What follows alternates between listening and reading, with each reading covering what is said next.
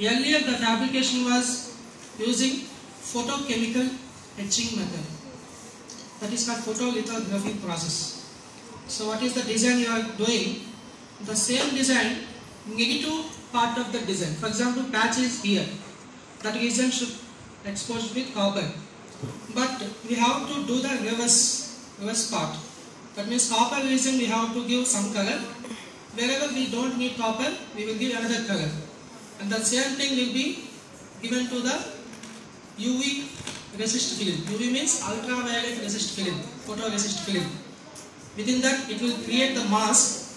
We will deposit the mask layer on the top side of the PCB. Just we will stick on just like placing the screen guard on the mobile phone. Okay. So then, what it will do is we will just put it in the chemical, ferric chloride or HCl. Advanced chemicals are there. That we will just deposit it and shake. Some machines will there. With that, complete PCB will be shaken with that chemical solution. So that process is called photochemical etching. Chemical etching. Etching means removing the unwanted copper. Okay.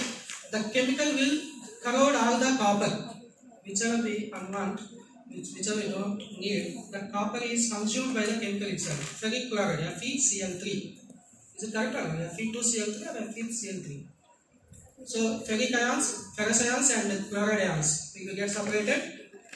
Copper, Cu.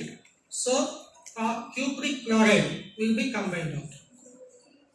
Okay, CuCl3, FeCl3 will get into CuCl3, remaining thing waste chemical. So like that, uh, earlier the process was done. Now using CNC machine, advanced fabrication techniques are also there.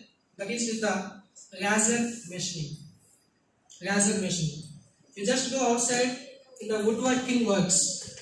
Woodworking works on the uh, door walls and uh, doors. They are making different kind of designs. And even